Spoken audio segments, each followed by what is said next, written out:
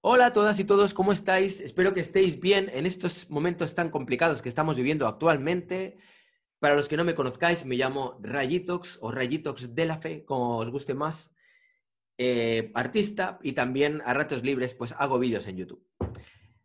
Aparte de, hacer debates, hacer vídeos de opinión, también hay una sección que de hecho la tenía un poco olvidada y que con este vídeo trato de relanzar, que es la de biografías me gusta hablar sobre artistas que me llaman la atención o que tienen vidas interesantes o que sencillamente me gusta su obra, como es el caso del el binomio del que os voy a hablar ahora. Me refiero a Cristo y Jean-Claude. Puede ser que haya muchas personas que no sepáis quiénes son, pero si os digo que son esta pareja que envolvieron el Reichstag en tela, o el Pont Noir, o las islas, eh, estas que no sé cómo se llamaban, que había en Miami, que las envolvieron también con una tela rosa, o, en fin, eran unos expertos, entre otras cosas, en envolver todo cuanto se les ponía delante.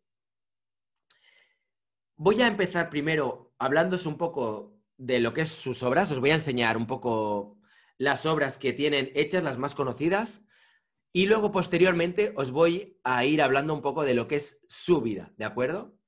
Vamos, vamos allá. Esta es la primera obra que hicieron en la documenta, que la verdad es que parece bueno, no sé, ¿qué, os parece? Dejadlo en los comentarios qué sensación os da esta pieza, la primera obra que hicieron en la documenta de Kassel. A mí me encanta, parece una especie de globo aerostático que tiene una forma un tanto fálica, pero tiene muy buena pinta. Eh, por lo que pude leer, eh, tuvieron bastantes problemas con, con esta pieza. Al final tuvieron que traer una de las grúas más grandes de Europa para poder acabar de coser las telas que se les había roto. En fin, pensar que estamos hablando de piezas de una gran envergadura y que además tienen lugar en el espacio público. Con lo cual, en muchas ocasiones, ahora luego os comentaré, tanto Cristo como Jean-Claude tuvieron que lidiar con problemas fruto del, del, clima, de la ubicación, aparte de toda la burocracia que tenían que soportar y que tenían que rellenar, con la que tenían que lidiar para poder llevar a cabo sus proyectos. Este proyecto, que a mí me resulta uno de los más poéticos y de los que más me llama la atención, se llama The Ballet Curtain, que es una pieza que hicieron, pues mira, aquí te lo explica un poco, a finales del de 1970, un paño de 400 metros de largo que sería estirado a través del Rifle Gap, un valle en las montañas rocosas cerca de Rifle, Colorado. Mirad, esta es la pieza de la que os hablaba antes, de las islas que están eh, cerca de Miami. El título se llamaba Surrounded Islands y bueno, pues aquí tenéis una, pieza eh, que consistía en rodear 11 islas en la bahía vizcaína de Miami con 603.850 metros cuadrados de polipropileno rosado.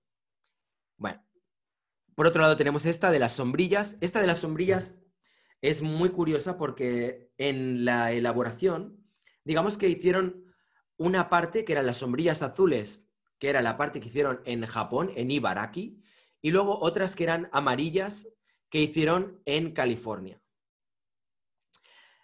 Eh, cada uno de ellos, Cristo se dedicó a las sombrillas que estaban en California y eh, Jean-Claude se dedicó a las sombrillas que estaban en, en Japón, en Ibaraki. En Ibaraki hubo una tormenta brutal y parece ser que en algún momento una mujer murió. No se sabe si es que murió dentro de una sombrilla o si es que salió volando y le dio el golpe. No se sabe muy bien cómo. Cristo dijo, hay que desmontar este proyecto ya, de manera que trataron de desmontar todas las sombrillas, pensar que son bastante grandes, y en el desmontar eh, las sombrillas, parece ser que uno de los obreros con una de las grúas tocó un cable de la luz y murió electrocutado. O sea que esta pieza tuvo bastante, bastante polémica y supongo que les daría bastante quebraderos de cabeza al margen del hecho de lo que supone el que dos personas fallecieran. Aquí tenemos una de las piezas más icónicas que seguramente os sonarán, que es la del Reichstag, el Parlamento alemán envuelto por, esta pareja artística. Eh, en fin, que les llevó mucho tiempo el conseguir que les autorizaran el proyecto. Esta otra pieza también, yo reconozco que esta no la conocía, Behulte Bäume, que tuvo lugar, aquí nos lo explica, en 178 árboles en el Parque Berower de la Fundación Beyeler en Rien, al noroeste de Basilea, Suiza. Las ramas de los árboles empujaban la tela creando formas únicas en cada uno de ellos. Bien, estas son algunas de las piezas más icónicas, hay bastantes más. Eh, de hecho, por ejemplo, esta pieza también es muy conocida, de Gates, que hicieron en Central Park, en Nueva York. Y bueno, aquí podéis ver un poco más de lo que os he contado antes. Estas serían las sombrillas amarillas que estaban en California. Y bien, ahora os voy a hablar un poco acerca de lo que es la vida de Cristo y Jean-Claude, pero me voy a centrar mucho en la vida de Cristo porque realmente me parece que es una vida bastante de película. O sea, los dos han tenido una vida de película, pero en el caso de Cristo hay que decir que se lleva la palma. Y se lleva la palma, entre otras cosas, porque tiene... Hay aquí una, historia que explica en, en Wikipedia, cuando ponéis Cristo y Jean-Claude, que os recomiendo que la leáis, porque la verdad es que es bastante divertido. Dice lo siguiente. Cristo es descendiente de un inmigrante alemán en Bulgaria. El bisabuelo de Cristo, el alemán Friedrich Fischer, había inventado un sistema moderno para la producción masiva de rodamientos. Fischer envió a su hijo, el abuelo de Cristo, que se llamaba Vitus Fischer. Iros quedando con los nombres, ¿vale? El bisabuelo Friedrich Fischer, el abuelo de Cristo, Vitus Fischer. Bien, pues envió al abuelo de Cristo a Bulgaria para inaugurar la primera fábrica de rodamientos de Europa del Este.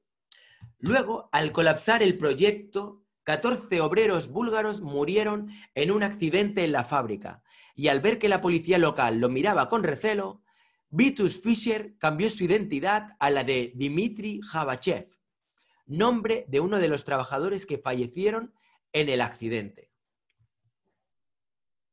Pausa, un momento, vamos a ver si lo he entendido bien. El bisabuelo envía a su hijo, que era el abuelo de Cristo, a encargarse de inaugurar y de llevar una fábrica de rodamientos. Bien, esta fábrica colapsa. Ya, primer, primera parte que ya no acabo de entender muy bien. Cuando se refiere a que la fábrica colapsa, ¿a qué se refiere? A que se cae. A que la fábrica se cae y que mata a 14 obreros. Se refiere a que una de las máquinas empezó a disparar rodamientos y de repente mató a los 14 obreros búlgaros. A mí todo esto no me queda claro. La cuestión al margen de eso, que ya es algo que yo no acabo de entender, es que el abuelo de Cristo, Vitus Fischer, en vez de hablar con su padre y decirle, oye, papá, pues ha habido un accidente, ¿qué hacemos? ¿Cómo gestionamos esto? ¿Me vuelvo para Alemania? ¿Cancelamos la fábrica? ¿Qué, qué, qué, qué, qué, qué? ¿Qué hacemos? No, en vez de eso, rollo, rollo banana, o sea, plan película Woody Allen, se coloca ahí la gorra, se coloca la barba y dice, no, a partir de ahora yo soy, yo ser búlgaro, yo ser búlgaro, yo no ser alemán. Y se dedica toda su vida a vivir en Bulgaria como si fuera un búlgaro y se pone a trabajar, si lo he entendido bien, eh, que viene luego aquí también en la biografía, en, una, en, un, en, una, en un centro productor de leche. O sea, en, pues en, a ver, vamos a ver dónde estaba esto. Ah, y comenzó a trabajar en un negocio de producción de leche. Vale, vamos que trabajaría ordeñando vacas, digo yo, o algo así. El nieto de Dimitri, Vladimir Javachev, que ya estamos hablando del padre de Cristo, mostró las aptitudes tecnológicas de su abuelo y se convirtió en un científico académicamente exitoso en Bulgaria, aunque aún era pobre. Vale, a partir de aquí te cuentan esto, luego te cuentan que Cristo en los 70 consiguió eh, pues hilar el hecho de que él era el bisnieto de este hombre alemán y consiguió el 41% de todos los beneficios que había generado esa empresa. Y bueno, no, perdón, el 49% del patrimonio de Friedrich Fischer, aquí lo dice. ¿Vale? Aunque esto haría de Cristo un millonario, decidió vivir modestamente de una parte de lo que producía su obra artística. Aquí se abren también multitud de interrogantes que yo he estado buscando en libros, he estado buscando en webs, en ninguna parte me lo ha aclarado. Cuando dicen que decidió vivir modestamente siendo millonario, ¿a qué se refiere? Cuando dicen eh, que había donado la mayoría de sus ingresos y toda su herencia a organizaciones de caridad, como indica aquí, la mayoría de sus ingresos y su herencia a organizaciones de caridad. Mm, pero, ¿de cuántos millones estamos hablando? O sea, porque claro, si realmente, eh, yo qué sé, imaginaros, ha ganado 100 millones de euros y ha donado 70 millones, pero aún le quedan 30 millones, son muchos millones para poder llevar a cabo obras como las que llevaron a cabo posteriormente. En fin, esto digamos que está en una especie de nebulosa y además es muy curioso porque si en Google os voy a, os invito a que probéis hacer algo así, mira, pilláis un trozo de Wikipedia, ¿vale? Como este, hacéis un copiar-pegar, abrimos una ventana nueva y, le dais al texto de, lo que habéis copiado. Y os empezará a aparecer cantidad de artículos en un montón de páginas web sobre arte, sobre un montón de temas, donde directamente lo que hacen es copiar y pegar todo lo que pillan en Wikipedia. Mira, arte involucrado. El bisabuelo de Cristo, el alemán Friedrich Fischer, había inventado, ta, ta, ta. En Metalocus, el bisabuelo de Cristo, el alemán Friedrich Fischer, había inventado. O sea, y esto es un pequeño ejemplo, pero os aseguro que esto va a más. O sea, si vosotros hacéis esto con cualquier, con cualquier frase que haya en Wikipedia, es increíble porque ya sé que esto probablemente muchas personas ya lo sabréis, pero es que no deja de llamarme la atención porque si tú cuelas una trola, una mentira, en Wikipedia o en una página así importante, luego hay mucha gente que sin contrastar esa información directamente copia-pega, como estoy haciendo yo ahora con este vídeo. Yo estoy basándome ahora en este vídeo en información que aparece en Wikipedia. ¿Esa información es verídica o no es verídica? Y es más, os voy a, os voy a hablar de una cosa que a mí me llama mucho la atención. Em, aquí te habla de que Cristo eh, pues era muy bueno con el arte, que estuvo estudiando en, la Academia de Bellas Artes de Bulgaria, que no le gustaba eh, pues el estilo, el, el, estricto currículo impuesto por el Partido Socialista Búlgaro de la época. De ahí dice que se trasladó a Checoslovaquia y que luego huyó de todos estos países que eran satélite de la Unión Soviética, huyó a Viena y de Viena posteriormente a París. Vale, hasta ahí todo bien.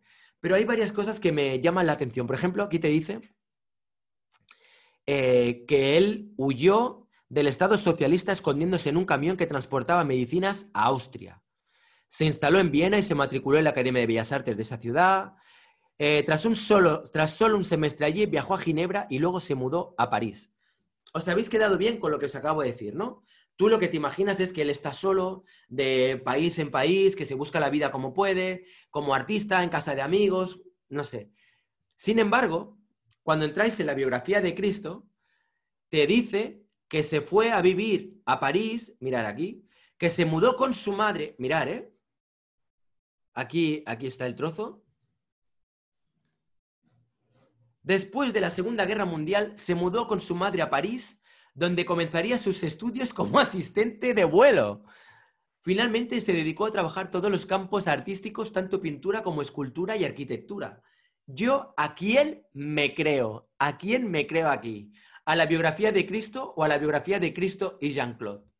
Entonces, imaginaros, o sea, es que esto es algo increíble a nivel de biografías y a nivel de cómo funciona la información por Internet y por las redes. Alguien suelta un bulo y de repente la gente empieza a, empieza a, liar una pedazo de bola. Dentro de nada resulta que el Cristo, alguien dirá que se fue a París con su tío abuelo y que era peluquero. Yo qué sé. Bueno, en fin, al margen de eso, vamos a centrarnos un poco en la historia que la verdad es que no tiene desperdicio.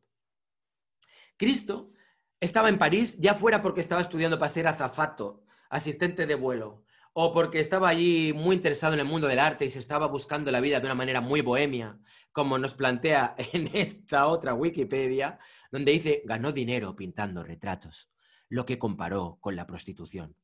Al visitar las galerías y museos de la ciudad, se inspiró en la obra de Joan Miró, Nicolas de Stael, Jackson Pollock, John Tingelly y principalmente en la de John Duffet. En enero de 1958, Cristo fabricó su primera pieza de arte envuelto. Cubrió un tarro de pintura vacío con un lienzo remojado en acrílico. lo amarró y coloreó con pegamento, arena y pintura de automóvil. Vale, esta pieza, si queréis, os la puedo enseñar porque me parece que está por aquí. Un segundo, ahora os la enseñaré. A ver si la encuentro. Vale, eh, estas son las primeras piezas que hizo con barriles. Y por aquí, aquí está. Esta es alguna de las primeras piezas que hizo. Este es el retrato de Jean-Claude envuelto. Este es un coche envuelto. Y a ver si puedo encontrar de mirar esto. ¿Esto qué os sugiere? Mm, dejadme en los comentarios. ¿Vale? A ver, bueno, esto es un poco lo que, lo que viene a ser la vida de Cristo vista a través de, de mis ojos. Y a ver si encuentro un momento aquí la pieza, una de las primeras piezas que hizo. Si no... A ver, espera, un momentito. Mm, aquí está. Esta es una de las primeras piezas que hizo. Como podéis ver, pues son pequeñas latas, pero se las curraba, ¿no? Le tenían ahí un poco de textura, como que las envejecía. A mí esto me conecta mucho con, el, con algunas piezas de, arte informalista, español, por ejemplo, incluso algunas piezas de tapias. A mí me, recuerda un poco a, este tipo de piezas. Vale, sigamos con, con lo que estaba diciendo. En enero del 58, Cristo fabricó su primera pieza de arte envuelto, como os decía. Cubrió un tarro de pintura vacío con un lienzo remojado en acrílico, lo amarró y coloreó con pigmento, arena y pintura de automóvil. Un empresario alemán llamado Dieter Rosenkranz, Rosenkranz compró varias obras pequeñas envueltas por Cristo. Fue a través de Rosenkranz que Cristo conoció al artista francés Yves Klein y al filósofo crítico e historiador de arte Pierre Regestain. Vale, y ahora vamos a ver un poco lo que es el momento en que se conocieron Cristo y Jean-Claude. En el hipotético caso de que lo que nos está diciendo Wikipedia aquí sea verídico, porque tampoco lo sabemos a ciencia cierta. Cristo y Jean-Claude se conocieron en París en noviembre de 1958, cuando él fue el encargado de pintar un retrato a su madre, Precilda de Guillebón. Inicialmente, Cristo se sintió atraído por la medio hermana de Jean-Claude, Joyce. Jean-Claude estaba comprometida con Philippe Plachon y se casó con él.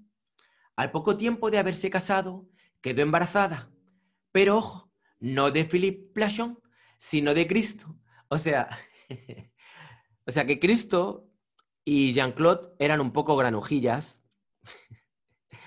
y, y bueno, pues parece ser que me, gustaría mirar, mirar con la cara de, buen niño que tenía Cristo, con la cara de, de, no haber roto un plato, mirarlo. Y el tío, menudo prenda.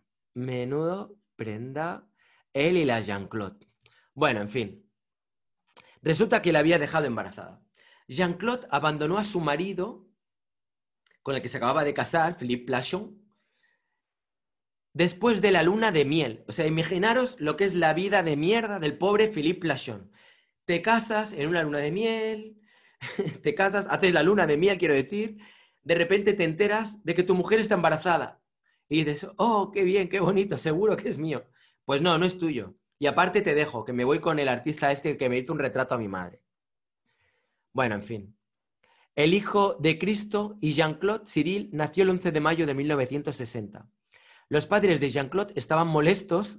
imaginaros, imaginaros el percal a nivel familiar, ¿no? De repente tu hija se casa con un hombre, hace la luna de miel, se separan después de la luna de miel y resulta que está embarazada del tío que le estaba haciendo el retrato a la madre. Estaban muy molestos, particularmente por los humildes orígenes de Cristo. A ver, seguramente eso influiría, pero yo creo que más que por los humildes orígenes de Cristo, seguramente fue por cómo se dieron las cosas, ¿no? O sea, podrían haberle dicho a Philippe Lachon antes de casarse y hacer una luna de miel que estaba embarazada, si es que, o que le gustaba Cristo y que estaba teniendo algo con él. Bueno, en fin, lo dejamos así. Eh, a pesar de la adversidad, la pareja contrajo matrimonio el 28 de noviembre de 1962. En 1959, Cristo cambió su enfoque a los objetos envueltos.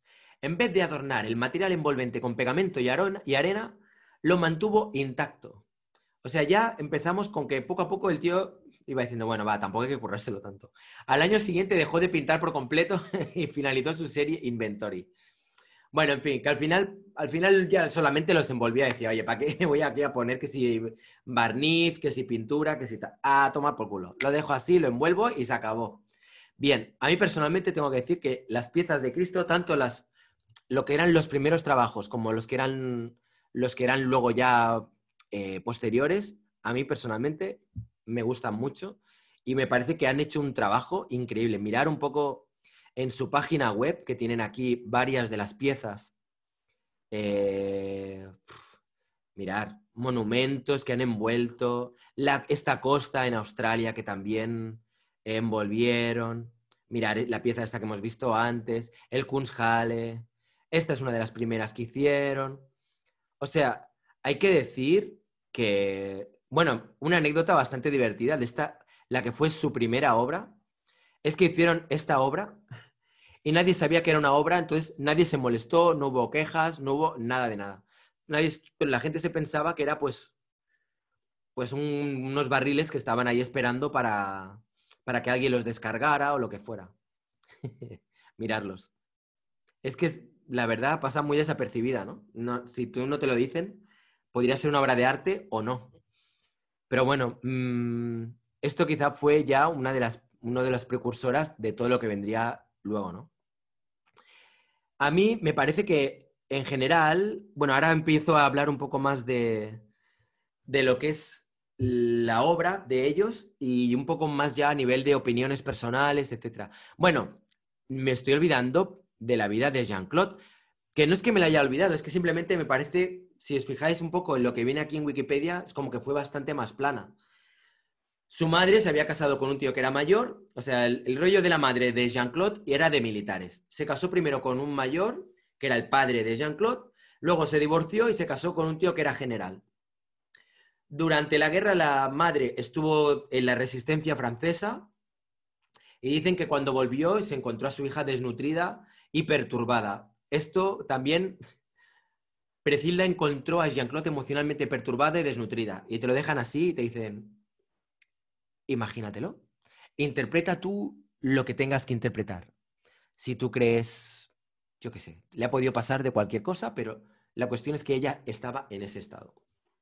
Bueno, la madre, que no sé por qué tenía una aderia así con los militares, se casó con el influente general Jacques de Guillebon, y la familia dicen que vivió en París desde el 45 hasta el 52, trasladándose a Túnez, regresando a la capital francesa en el 57. Posteriormente es cuando ella ya conoció a Cristo.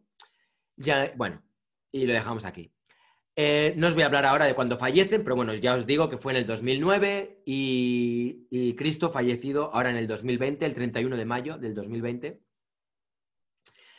Y en cuanto a lo que es las obras, más o menos ya os podéis hacer un poco a la idea de todas las obras que han ido haciendo y de dónde vienen más o menos cada uno. Ahora os voy a hablar un poco respecto a cuál es mi sensación, cuál es mi feedback respecto a la, la obra y lo que es el trabajo tanto de Cristo como de Jean-Claude. En primer lugar, diríamos que ellos, más que considerarse que eran land artists, es decir, más que considerarse que su obra estaba ligada al paisaje, ellos se sentían más vinculados en un momento dado al material. Es decir, le daban más protagonismo al hecho de que trabajaban con tela. O sea, la mayor parte de las veces ellos trabajaban... Un segundo que se me está quedando stream batería. La mayor parte de las veces lo que hacían era usar telas para envolver, pues eso, o monumentos, o superficies, o lo que fuera.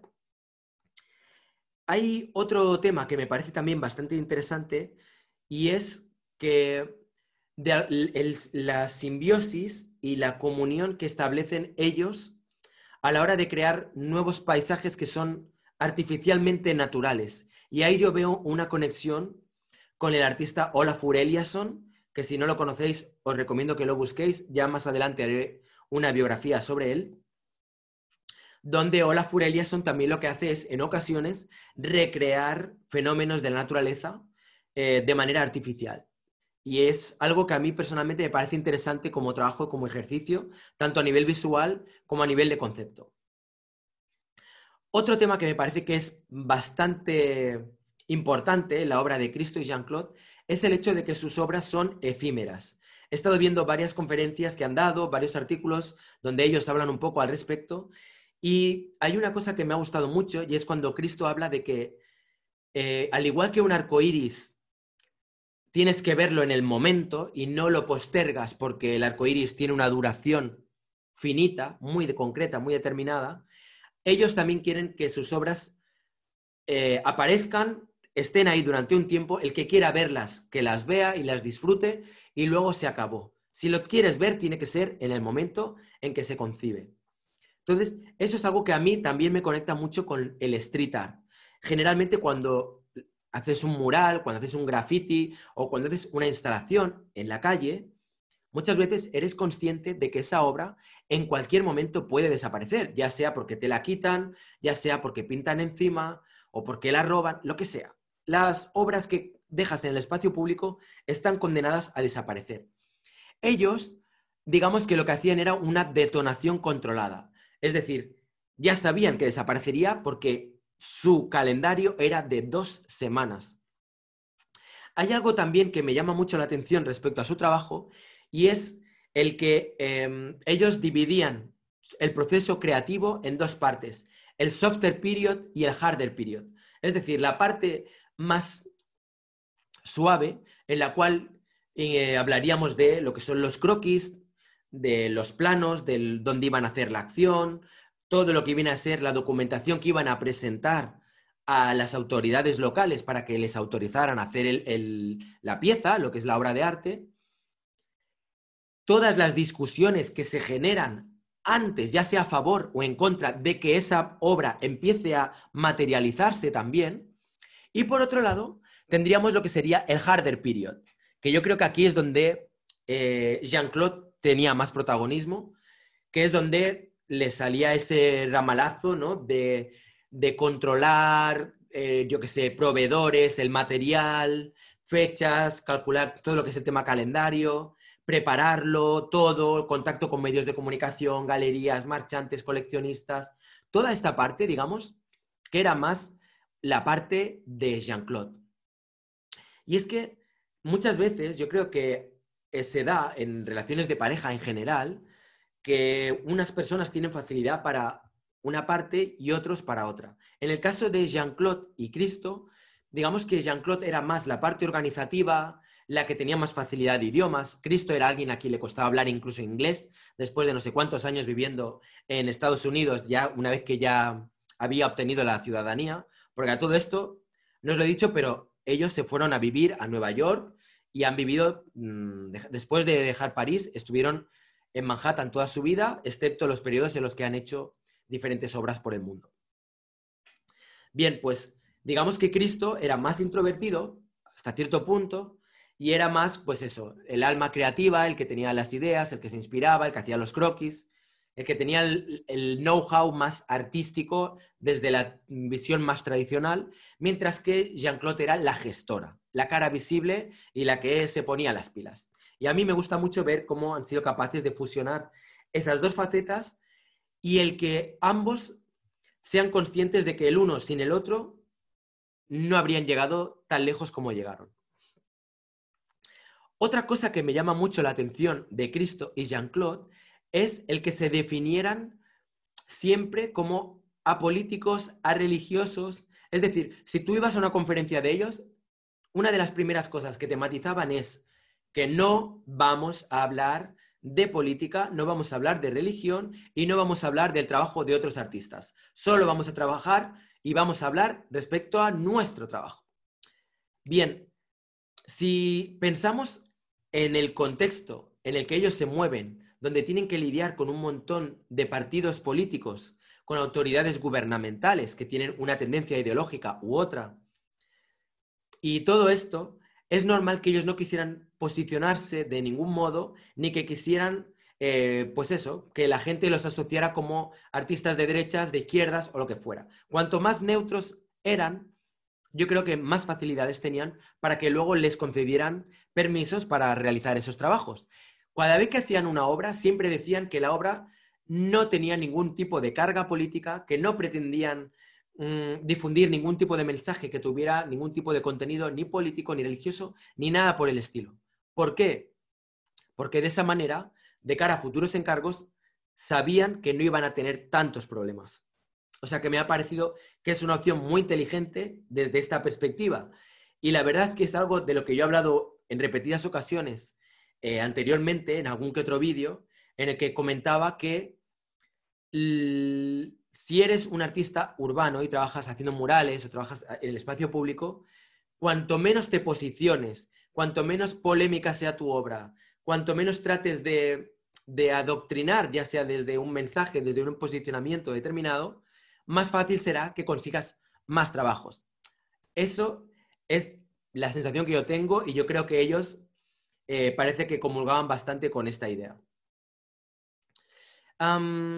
ya para finalizar, hay algo que también me gusta mucho de Cristo y Jean-Claude y es cuando hablan de que sus obras en realidad no obedecían a nada más que al puro deseo irracional de querer materializar algo que en un principio no tenía ningún sentido.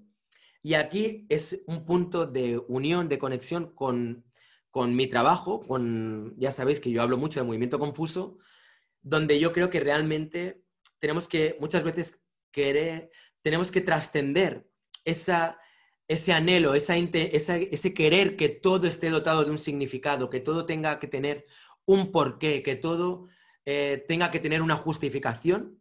Y a veces creo que una de las cosas más bonitas que tiene el arte es precisamente el que carezca de cualquier utilidad práctica, que no tenga ningún tipo de objetivo, ningún tipo de utilidad, no tenga ningún tipo de, de ambición más allá que el placer de decir, yo puedo materializar en un momento dado algo que no sirve para nada, que no tiene ningún tipo de utilidad, pero me apetece demostrarme que soy capaz de materializarlo. Y en el caso de Cristo y Jean-Claude, no solamente conseguían demostrarse a sí mismos que eran capaces de materializar sus fantasías, sus sueños, como puede ser envolver el Reichstag, por decir una entre muchas otras piezas que tienen, sino que además eran capaces de involucrar a miles de personas, mover millones de euros con ese objetivo el materializar algo que en un principio no tiene ningún tipo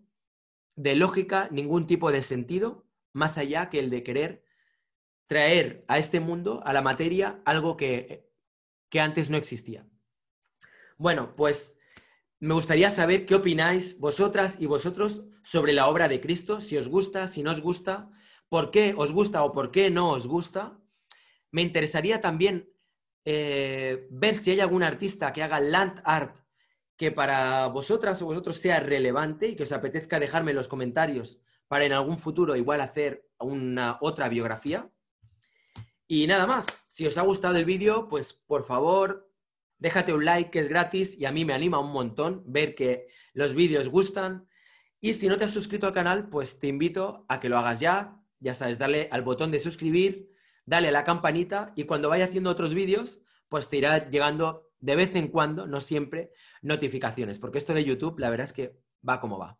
Bueno, ya sin más, muchas gracias por estar ahí. Espero que os haya servido este vídeo. Nos vemos muy pronto.